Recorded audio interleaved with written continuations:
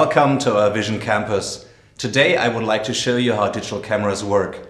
You will learn about the historical background, the components of a digital camera and why digital cameras are important for us. Digital cameras are all around us and are used in a variety of different fields. You will find them nowadays not just in our smartphones, but also in surveillance applications, traffic monitoring, medicine, modern production lines and many other industries. So how did it all begin? The first camera was a pinhole camera, known as the camera obscura. It involved nothing more than a black box with a small hole in it. No lens, no film, nothing. The camera projected a poor dark image onto the screen. There was no way to record the image permanently. To actually preserve the image permanently, you needed a person to trace the image. The invention of analog film provided the chance to record an image permanently, albeit using a complicated treatment process and many chemicals. At some later point, electron tubes were used to record images electronically and to transfer that information. Actual storage of the images was still handled using purely analog technology, namely as a video signal. One option for importing those images to a computer and processing them would come later by digitizing analog video data using a frame grabber card in a PC. A few years later, during the 70s, for example, the Kodak company made the initial steps towards a proper digital camera. The image data was recorded and transmitted digitally. The same processes are still used today. Over the course of time, our black box has undergone a massive transformation, not least through the components that are now used. Instead of the pinhole, we use a lens. It allows us to keep the object in focus and prominent at the image level within the camera, despite working with different focal length and settings. Yet it should be noted that this works the same way on an analog camera. The image sensor is another distinct component.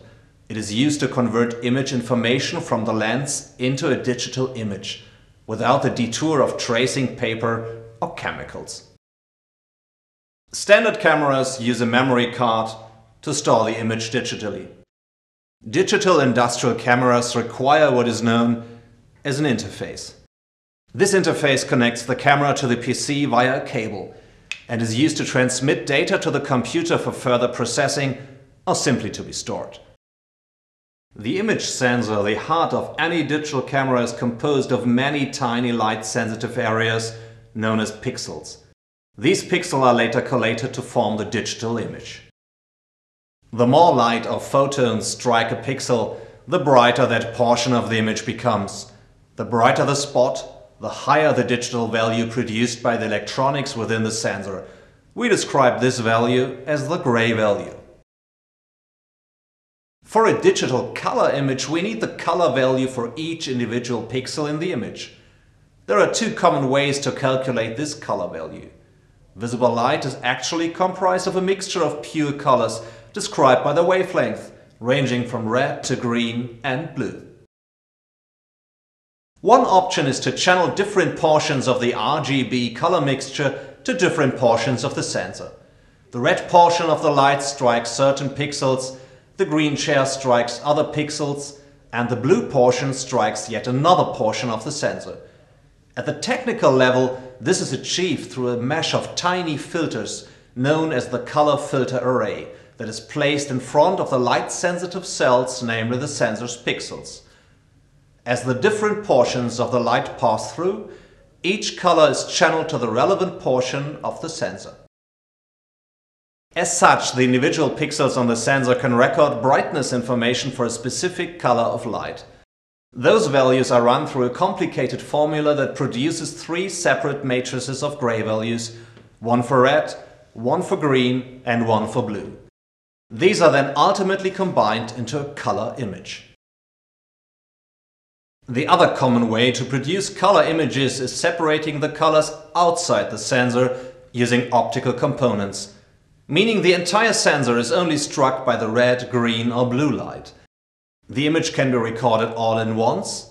Then you need three sensors, or in a sequence, using just one sensor and a color filter wheel. The final result is the same. The technique ultimately produces one digital color image. When you take a picture with your digital camera or your smartphone, it is not much of an issue if it takes a quarter to half a second for the picture to move into the device memory. But when it comes to monitoring production processes moving too fast for the human eye to follow, however, a quarter second is far too long. Images need to be created in just a few microseconds. There are many different applications that place special requirements on digital industrial cameras. Factory automation, traffic monitoring and special medical techniques Digital cameras for industry are just one part of what is known as a vision system. The components of that kind of system will be subject of an upcoming video. Stay tuned.